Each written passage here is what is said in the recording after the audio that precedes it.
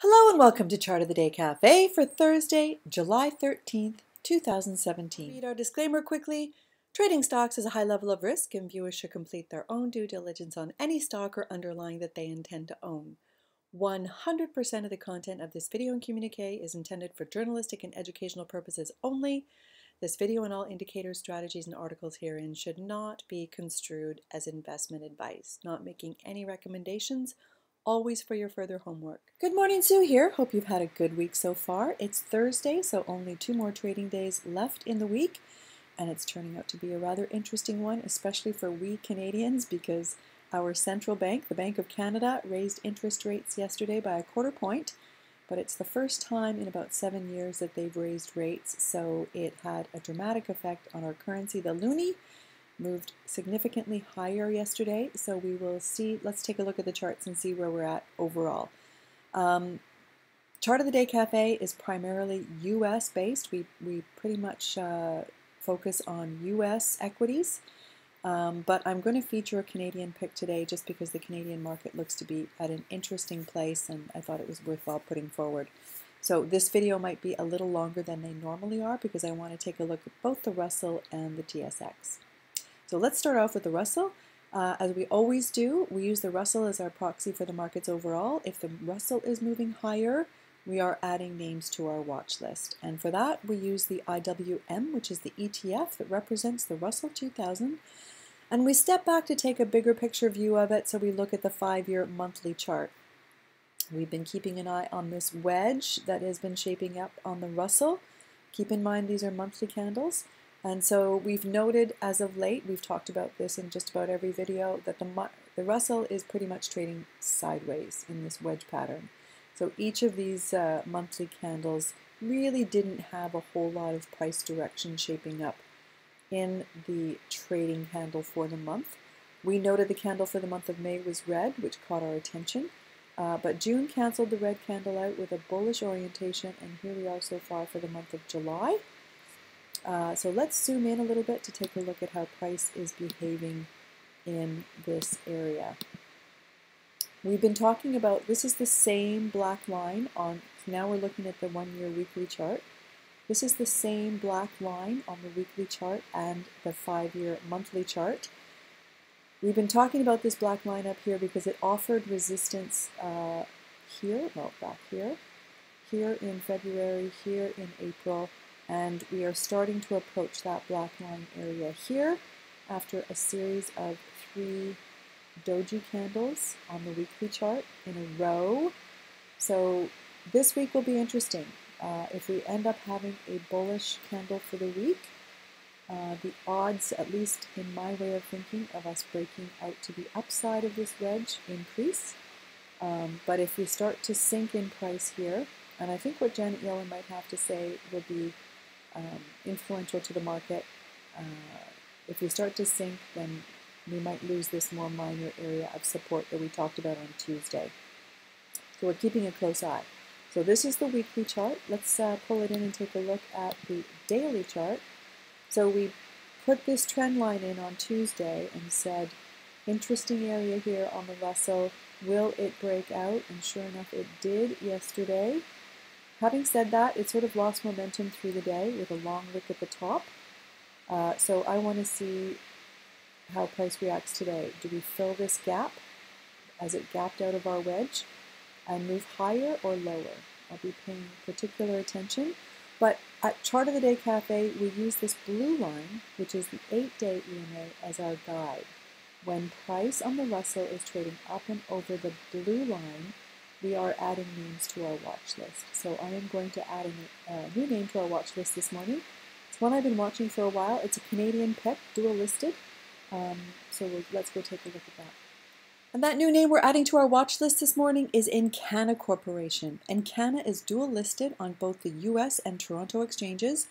Ticker symbol ECA on the New York and Toronto exchanges. We are going to look at the chart on the US side. Before I get into the chart though, let me tell you a little bit more about the company.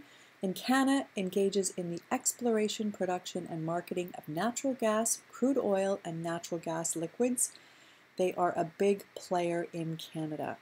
You know what Chart of the Day Cafe? It is all about value first and growth second. And Encana has an excellent value score. Current forecasted earnings growth rate is 32%. Again, that's a nice healthy number. It's got a current PE of 20.33 and a current dividend yield of 0.66%. So with that, let's get into the chart. We're looking at the two-year weekly chart. You can see on the two-year, it's in an uptrend and sitting at an area that may offer some support. So this orange line uh, indicates my area of support and it's just an area, it's not a defined line. But I like the way Encana consolidated here for a number of weeks and then had that lift up and over.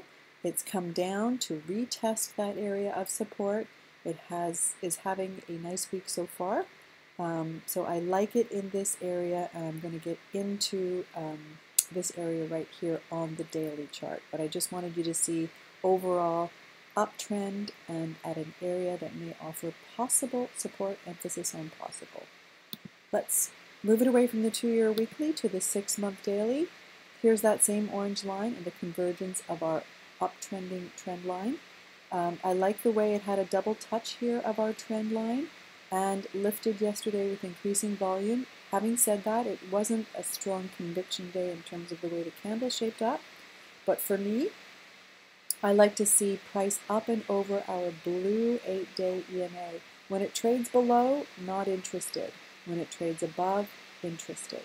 So it currently has, I use a 3 and an 8 EMA cross. It currently has that cross.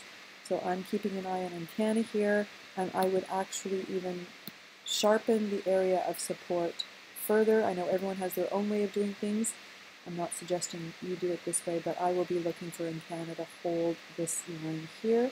So our risk reward on this is pretty tight uh, in this area. So liking in Canada here in this area, and we'll be looking for a strong candle to continue the strength of this price action.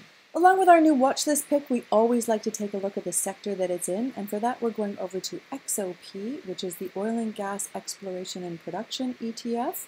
We're looking at the two-year weekly chart. You can see on the two-year weekly that it's in an overall uptrend, perhaps, shouldn't say uptrend yet, because it needs to lift off of this area here.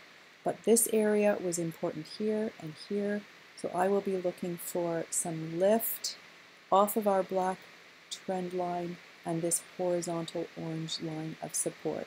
We will see, no guarantee we get it, but I like the way this chart is looking. I'm going to move it away from the weekly to the six month daily. Just like Encana, it's been kind of bouncing around this floor. We'll see if we get some follow through. It's all about price staying up and over that blue eight day EMA. So in the next couple of days, I want to see some positive candles and price action lifting us off of this area. We will see. Because Encana is a Canadian company, let's go take a look at the TSX overall. So for that, I'm going to go back to our two-year weekly chart. What I want you to note, we're looking at the TSX weekly, we're at a possible area of support here on the TSX as well. So I like the way it consolidated here for a number of weeks, broke through, and now sitting at that area that may offer some support and lift we will see.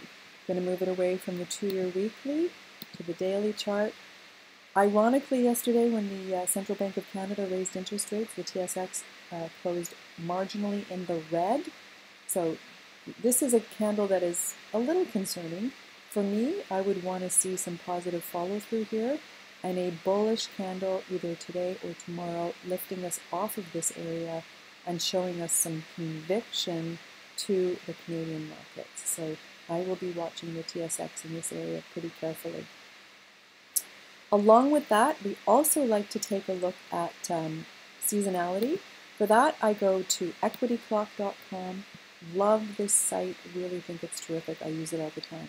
Uh, you note that this is the seasonal chart for Encana. Back half of the year, it trades in a somewhat sideways pattern. Uh, so seasonality may or may not be there. This is a data point I always like to refer to. Um, no guarantee that happens this year, but I always, always think it's interesting to note. Also, I've noticed some insider buying at Encana lately. Not a ton in terms of dollar value, but always nice to see. And analyst support. So for that, I always go over to FinViz to see if analysts are favoring my watch list pick. And you can see that Raymond James recently um, upgraded Encana from outperform to strong buy. Um, it's a little mixed, but for the most part, the analyst support is positive for Encana. Also, a number of really great articles. The one that I'm going to include is a Motley Fool article, two stocks to avoid and one to buy, and guess which is the one to buy? It's Encana. This was dated back in April, but um, it's insightful in terms of um, where the cost of energy needs to be for them to be profitable. So I'm going to include this with my video today. Also wanted to give you the heads up on two past Chart of the Day Cafe picks that I think look interesting here. The first one is Apple. We're looking at the five-year weekly chart. Apple was one of our first picks back in 2014. We put our video, we're looking at the weekly chart by the way, we put our video out here, the green circle, that had a beautiful run from there. We reiterated Apple again here, green circle, in uh, 2015. It had a little bit of lift from there. Mentioned it again here at this area of support, green circle. It's had a beautiful run since then, and it's looking to be sitting at an area of support here. I'm going to move it away from the five-year weekly to the six-month daily. You can see Apple looks like it may want to lift here as well. It's all about price staying up and over that blue eight-day EMA, at least for me.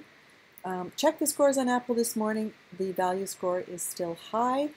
The forecasted earnings growth rate going forward is not, it's 4%, which is positive, not terrific, but I know a lot of people like Apple, and it's got a current dividend yield of 1.73. So the value and growth is still there. Keep an eye on it if you like Apple. The other one I wanted to mention is ABBV. Um, love this company. We mentioned it was our chart of the day cafe pick. Now we're looking at the week, or sorry, the daily chart uh, on April 20th. Back here, it's had a beautiful run since then and consolidated for a while, had some nice positive lift yesterday. Really like this company, keeping an eye on this one here as well. Price is up and over our blue, which we look for. And the uh, value score on this one is really excellent. Today I checked these scores. Uh, forecasted earnings growth rate going forward, 16% positive. It's got a dividend yield of 3.56%. And it looks as though earnings are on July 28th. So heads up on these two. I think they both look pretty good here as well. And so to summarize, let's go back and check our boxes. We started today's video with a look at the Russell Index. And we noted that on the five-year monthly chart, the Russell Index is trading in a wedge pattern, sort of a sideways uh, price direction, looking for a trend.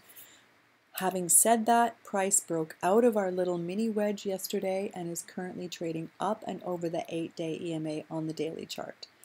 We looked at the TSX. We noted that on the two-year weekly chart, the TSX is at an area of possible support.